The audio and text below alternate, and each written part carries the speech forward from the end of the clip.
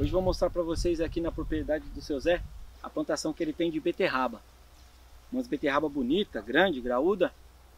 E eu vou mostrar para vocês a plantação dele aqui, tá?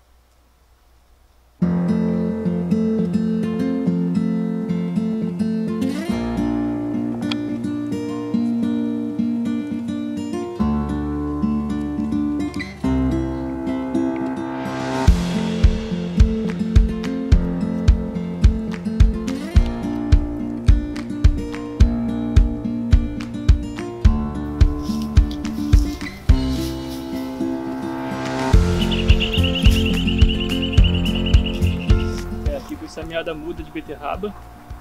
Né? Essa muda a gente ia plantar aqui, mas é, por enquanto não tem terra pronta né, para plantar. Como na outra chácara que eu tenho lá tem terra pronta, eu vou estar plantando na outra chácara, para não perder a muda. Senão ela passa, entendeu? Aí não dá tempo de plantar mais, se ela passar muito. Quanto tempo para a muda ficar boa para plantar? Essa daqui ela leva em torno de um mês e meio, de um mês e meio a dois meses para ficar boa para plantar.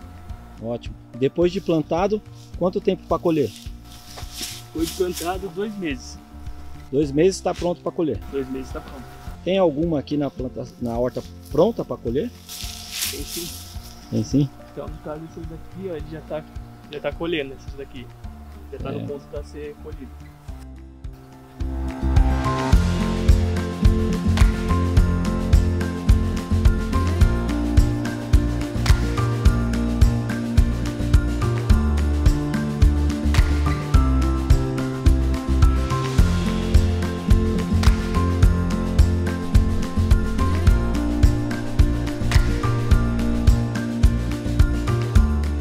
Pessoal, é isso.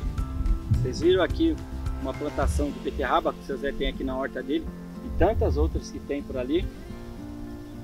Umas beterraba graúda, bonita. Conhecemos o filho dele também que veio aqui pegar umas mudas que ele planta aqui para levar para outra horta que ele tem em Jundiapeba para poder plantar elas lá.